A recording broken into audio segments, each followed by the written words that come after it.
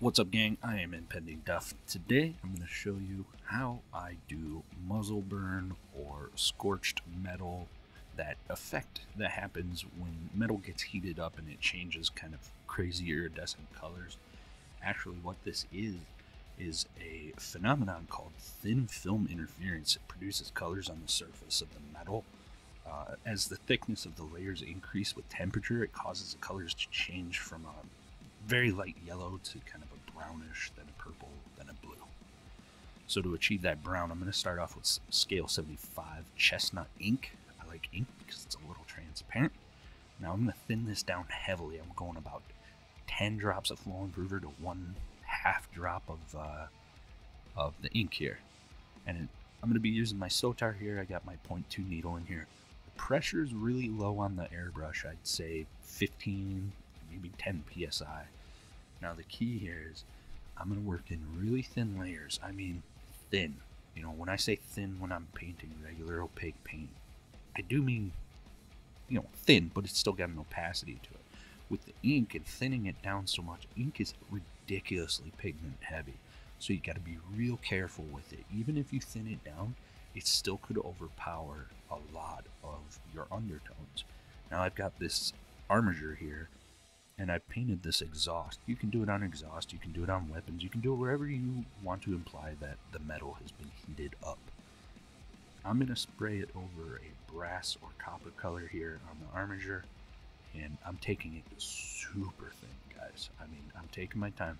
The other thing about inks is they're super fluid. They're not like regular paint. They're not going to be thick. They're going to be super watery almost. Another good thing that you could use is the transparent line from Pro Of course, literally the second I started shooting this scene here, I got an email that transparents were back in stock. It is what it is, but uh, you know, I'll work with what I'm going to work with here. I've had inks for a while. I know what I'm doing with them. When I get the transparency in, maybe I'll do another version of this with transparency. But you can see I'm slowly building up this chestnut. Now I'm using the chestnut because I want it to kind of be a little more reddish brown uh, over the that copper color. It's going to be a little harder to show the yellow tone.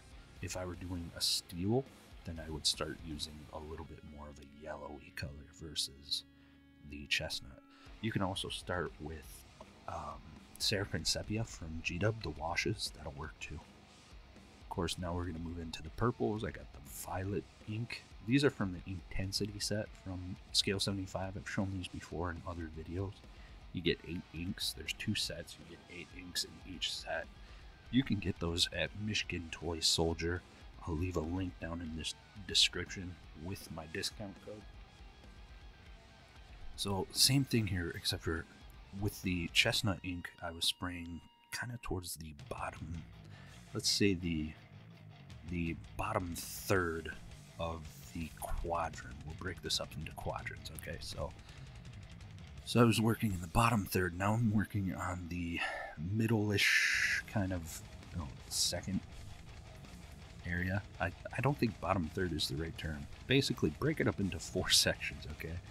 And if we're starting at the bottom as one, building up to the very top of the exhaust is zone four, I started at zone two, now I'm on zone three. Hopefully that makes sense. I'm not confusing anybody, but it's late and yeah, I just put my kid to sleep. So, same thing here, super thin.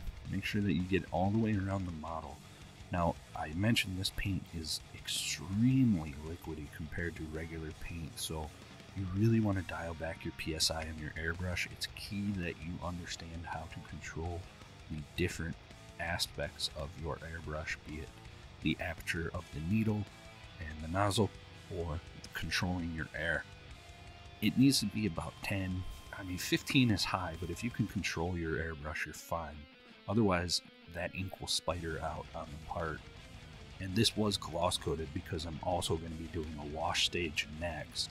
So I do have some gloss over this, which would cause the paint to kind of spider out even more. So softer air is better. Just working super thin layers as I spray this purple just above that red, but I'm blending the two. Okay? So you can see there's kind of a nice even gradient from that reddish brown up into the purple. Now we're to shoot some blue on the very top or quadrant four if we're keeping with my weird quadrant number thing. So we're to go to purple, or I'm sorry, blue here. This is just straight blue ink from scale 75. I believe these are all in the first set of intensity. Yes, they are. They're all available in intensity 1. Now I'm going to spray this over, see how thin that is. It's really controlled, really thin. But blue is stupid intense, guys. Like, in- intensity is an understatement with these colors. They are insanely pigment rich. If you haven't worked with inks before, please test it out on something else before you spray your model. I'd, I'd hate to get a bunch of comments and say, oh, Duff, I screwed up my model. Please test everything before you ever try it on a model. Make sure that you understand how things are working because that blue is super intense and you got to take it real slow and build it up until it gets that kind of scorched metal look. Now I'm going to overlap from the copper onto that steel where the, the little headers are. I don't know what they are. I'm not a mechanic, so hate cars, but make sure that it, it sprays onto the copper and kind of blends with the purple because you've got to have a gradient, almost like a wet blend with your airbrush. You can you can feather it in because we're essentially glazing. So you got to feather it into the last step. I feel that airbrush is a lot easier to do this effect than with traditional brush, but you can totally pull this off with traditional brush. I would just use um, Citadel shades probably, or even Army Painter, whatever you have in the shade department. It, it needs to be a yellow brown, uh, reddish brown, if you will. Uh, then it transitions into the purple, and then it transitions into the blue. The blue being the final color. The name of the game is keeping that smooth transition. As you see me building up the color here, I take it really gentle and I just make sure that I don't overwhelm it so it still looks metallic underneath, okay?